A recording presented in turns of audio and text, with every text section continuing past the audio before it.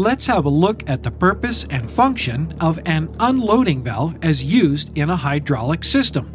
The symbol for an unloading valve is quite similar to the symbol for a pressure relief valve. They are both normally blocking or normally closed off valves. Springs are used to keep the valves in their closed position. They are both waiting for a high enough pressure value on the dashed pilot line to cause them to open and pass flow. The poppet, represented by an arrow inside of the box, will move to the open position against the force of the spring only when the pilot pressure is high enough. See if you can figure out what the pressure setting is for the relief valve and for the unloading valve. What makes the unloading valve symbol unique is the presence of a check valve, which is a one way valve between the inlet port of the unloading valve and the pilot line that triggers the unloading valve. When the unloading valve opens, we only want the flow from the right hand pump to pass through. The check valve prevents flow from the left hand pump from escaping to tank.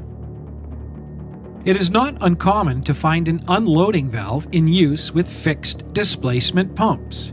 An unloading valve can be used to create what is sometimes known as a high low circuit, and it is also used to minimize the power required from the prime mover, an electric motor in this case, when the system pressure gets to a level that might cause the motor to stall what you will see is that a small electric motor can still continue to turn one of the two pumps, the left pump, now working at a higher system pressure by unloading the pump on the right. If you've been watching the system cycle, you've probably already got a pretty good sense of the function.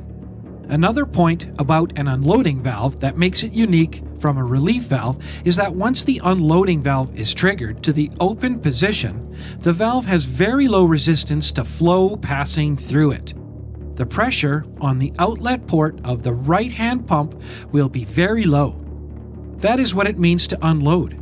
That is, to make it quite easy for the right hand pump to move flow without requiring much power from the electric motor. This has been a brief introduction to the unloading valve. If you use several fixed displacement pumps in your hydraulic system, have a look at the schematic to see if one of the symbols looks a little like a relief valve and has a check valve on the pilot line. Then you'll know you've got an unloading valve. Thanks for watching. We have hundreds of interactive resources like this live schematic, so you can try out your wild ideas without blowing anything up.